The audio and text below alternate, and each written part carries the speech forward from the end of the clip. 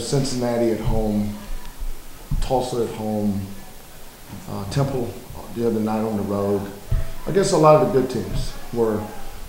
we've had the lead in the second half and, um, um, you know, our, our depth becomes a big, a big factor between the 11 minute mark and about the seven minute mark. That's, that's where you wish we could, could rest our guys and take them out, uh, like the other teams do, you know. Um, uh, Frank Haith is a good friend of mine, known Frank forever, but you know, Frank starting five, I think, has started every single game this year. Sometimes you have to have a little good fortune, you know, having LJ out, having the McKell out, so, um, is a factor. Come on up here, Wes. Is a factor. But I'm proud. I'm proud of the way these guys have, have hung in there. They fought. Uh, uh, I think the best way to, to, to describe this group, I, I describe them in two words: scrappy and resilient. Question? Coach, you gotta be pleased with that young man, your list play, they can comment on that, please? Yeah, Wes is. Um, you know, we, we give guys opportunities. You know, the guys that's been playing in front of Wes have had their opportunities, and you know we're. Um, you know, I've given Wes opportunities. You know, he's uh, he's turned the ball over a little bit too much, uh, but you know he, you know we keep running him out there, and today he, he found his uh, groove. And, um, our guys kept fighting him for open shots, and Wes did what he can do. And the thing I like about Wes, he's not afraid you know, maybe earlier in the year against Central Florida at home a little bit, uh, to be expected the first time he's played at this level. So walk on, you know. Um, but um, he's gotten better through practice, and he's um, a tough kid. He's, he's not he's not afraid. I, I uh, respect that about him. Showing the hustle stats, um, you know, you have a lot of offensive rebounds, Mhm. and you guys getting those second chances, and then Yeah. on the other end, um, you know, early on, you guys are forcing some, some Yeah, yeah. I mean, obviously, we're the number one offensive rebounding team in the league, but that, we're number one for a reason. You know, obviously, we a lot of teams don't. You know, a lot of teams have poor shooting percentage, but they don't offensive rebound. I mean, for us, that's how we get extra possessions. We're not going to beat anybody with our first shot. We're not good enough shooters. Um, but second and third shots will give us extra possessions, and we, and we need that with our, the team we have. You know, we don't have we don't have a center. We don't even. I mean, we have we have what we have. So how can we how can we get extra possessions? You know, loose balls. We, we got almost all loose balls tonight. When the ball was loose, we got it. Uh, we got second second and third shots, um, extra opportunities. Um, I think Devontae had five steals himself. Uh, Wes drew a great offensive charge. So, you know, all, all the all the and I call them uh, culture stats. And that's why you say, well, what have you accomplished this year? That's what we've accomplished. Because we were no good at that in October, November, December. You look at all those games we lost early, we were no good at that. No clue.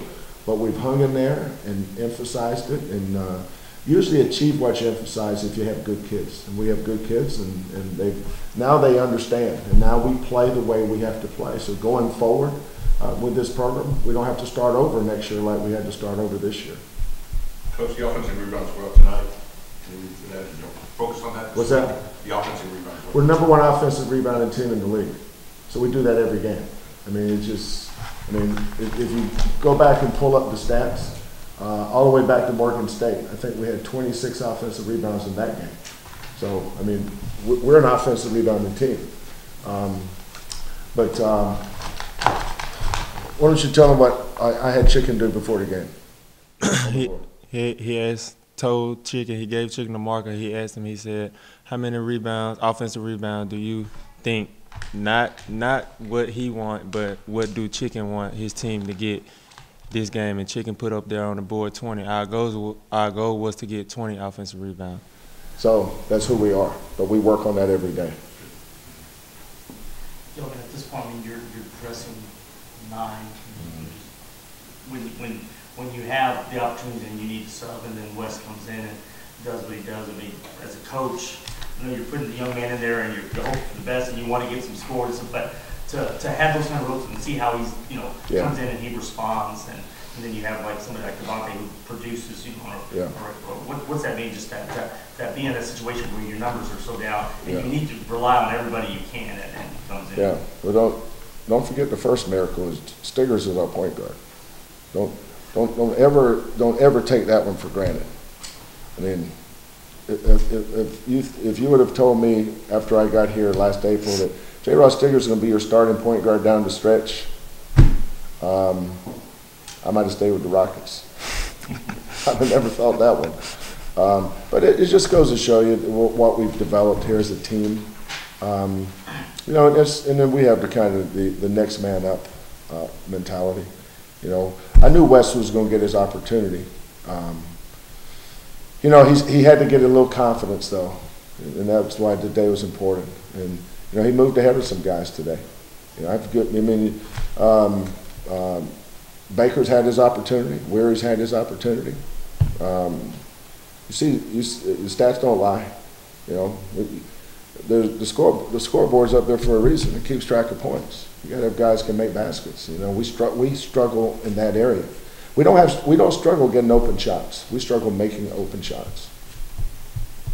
What's for, for those who don't know your, your sort of, can you kind of take us through how, how you got here in terms of just with the team as a, as a walk-on and and just your, your decision to, to join the team in, in that capacity? Yeah, um, the connection that I made was uh, I played on TJ Ford's AAU team, so uh, he made the connection with coach.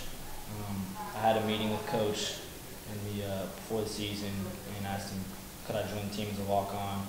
Uh, he uh, told me his expectations. Uh, I knew I could follow those, so he uh, let me join the team, and I just try to work hard in practice and just stay ready.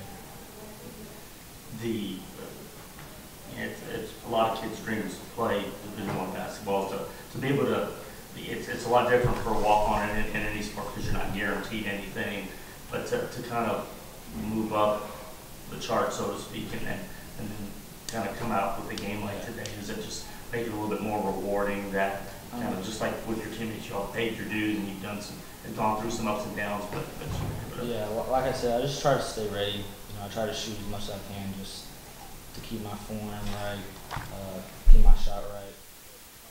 It's a credit to uh, J. Rod and Devontae and all those guys who found me when I'm, I was open. To me, really, uh, I had the easiest part, which was just making an open shot, which I do hundreds of times each, each day. So, credit to those guys.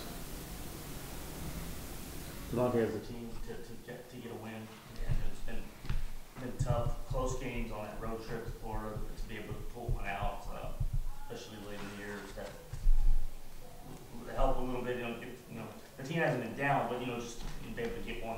Right. I mean, like I like I said, I don't think it's I don't think it's just been tough, you know, for us. Nothing that no one else does, I don't think make it tough for, tough for us. We make it tough on ourselves, you know, with as far as losing our losing our, you know, from staying not staying focused in the second half. You know, I think we struggle, you know, the first five minutes of the second half in every game that we played this year. And that's just, you know, like Coach said, in the middle of the season, before the game, he know we be ready to play because he can just see it in our eyes of, you know, after his prep talks or whatever.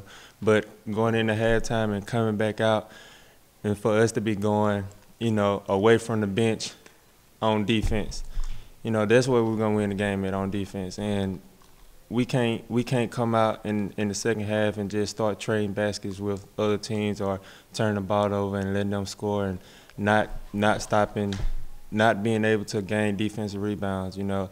And like he said, you know, uh, our second chances, ch- second chance points, we number one in that for a reason. And you know, it, it only takes two people to get an offensive rebound, and so one keep it alive, the other one go grab it. And I mean, I think I feel kind of like coach about J. Rod Stiggers. If he if you would have told me he was gonna be the point guard, I don't think I, I don't know, I don't know. But I mean, J. Rod, J. Rod is a tough kid.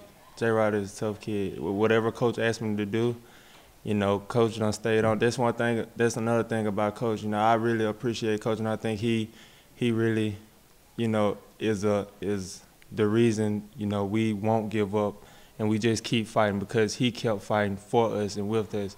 And he never gave up on anybody on his team. As long as we show him that, you know, we we believe and you know, we're gonna continue to fight for him, he was gonna continue to fight for us.